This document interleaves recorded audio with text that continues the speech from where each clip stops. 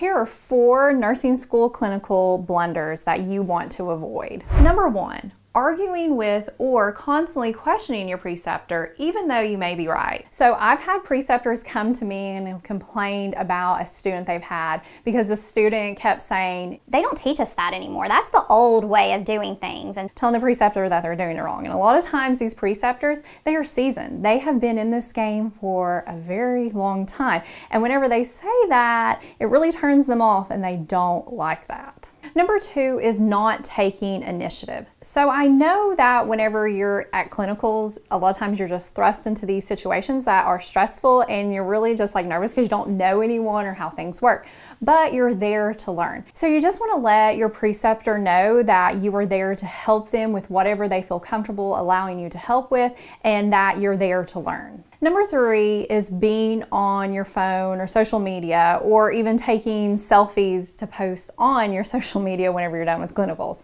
That is one big thing that I see preceptors get very aggravated about because they know that you're there to learn and they don't like that you're taking time to do those other things because it sort of shows them that you're not interested in what they have to teach you. And then lastly, not making the most of your clinical time. Now, you're going to be in some clinical settings that you're absolutely going to hate. You know, let's say that pediatric nursing is not your thing or mental health nursing and you really don't want to be there. You're just there to get the grades so you can get through nursing school. Or you have a preceptor that just really doesn't like a student.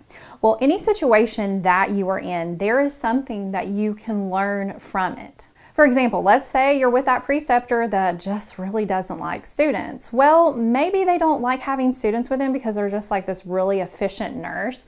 And having a student with them sort of slows them down because they don't want to have to be divided between the two things. Well, what you what you can do is just really observe them and watch them, how they structure their day, how they deal with patients, how they deal with other healthcare providers, and you will learn a lot from that. So when clinicals give you lemons, make lemonade out of it. So take any difficult situation that you're in and try to learn something from it. Okay, so those are four blunders that you probably want to avoid making in clinicals. Now, if you want to watch other videos in this series, you can access the link in the YouTube description below.